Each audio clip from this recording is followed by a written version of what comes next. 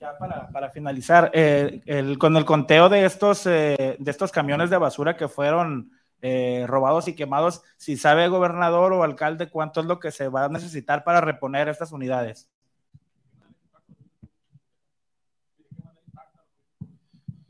Mira, coincide con que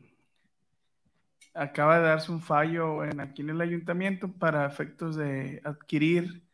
20 camiones nuevos de basura, más o menos es la, la cantidad. Bien, eh, ahorita estamos en,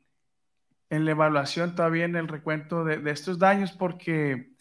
pues algunos fueron eh, quemados, otros no, estamos viendo cómo volverlos a echar a andar, eh, estamos justamente en eso, pero estamos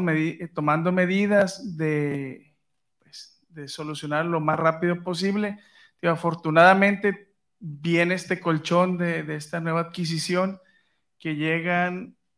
ahora en alrededor de 10, 15 días aquí, pues vamos a hacer los ajustes necesarios y, oportunos pues para no afectar lo menos o afectar lo menos posible al servicio público. Nos vamos a recuperar, eh, nosotros nos encargamos de eso.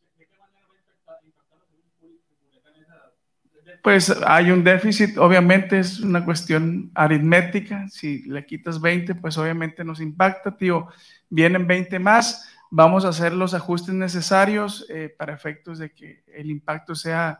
eh, lo mínimo y pues vamos a recuperarnos, estos camiones tienen seguro, etcétera, hay que ver cuáles eran de, los que son rentados, entonces pues tenemos Esta es esta es la conferencia de prensa de las autoridades por allá en Sinaloa, en vivo y en directo, con el gobernador, con el presidente municipal de,